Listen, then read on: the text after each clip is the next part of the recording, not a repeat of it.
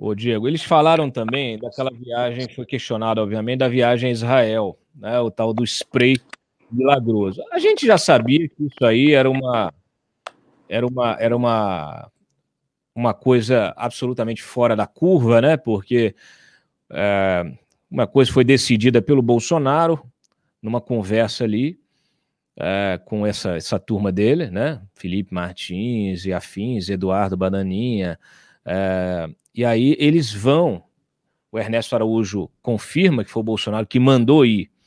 Ele estava, o Bolsonaro nessa época, inclusive, estava lá é, curtindo as férias, adoidado, né? Aquelas férias que ele gastou uma, uma pequena fortuna. É, e ele falou: não, nós vamos lá, mandou o assessor dele junto é, para ir a Israel. Foram a Israel, e aí o Ernesto Araújo disse na CPI o seguinte: a comitiva teve apenas uma reunião para discutir o tal do processo de imunização israelense, essa, essa história aqui. Tá? É, ele, ele, ele, inclusive, olha, foi questionado sobre o porquê do tal do Marcos Mouro, o assessor do, do, do Bolsonaro, sem qualquer formação científica, ter participado da viagem.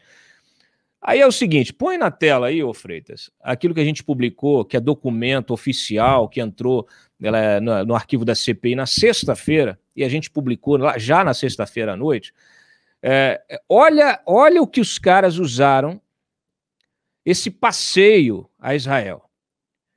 A comitiva que foi lá para discutir spray milagroso, eles, eles acabaram é, é, falando sobre lançamento de módulo lunar com Israel. Isso é uma vergonha. É uma vergonha. Essa gente está brincando com a vida das pessoas. Repito, estão gastando dinheiro público, rasgando dinheiro público e estão brincando com a vida das pessoas. Pare de acreditar nessas bobagens. Não tem spray, não tem conversa sobre spray. É tudo fake news, é tudo garganteio, tá?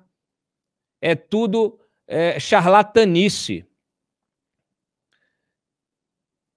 Agora o Brasil vai lançar um módulo lunar. Aí os caras vão discutir spray para Covid e, e, acabam discutindo o módulo lunar. Por quê? Porque não tem o que discutir. Eles fizeram essa agenda oficial aí é, para tentar justificar a presença lá em Israel. Sabe lá o que fizeram.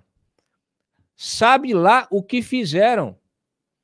Isso é tudo viagem de cobertura. É uma vergonha.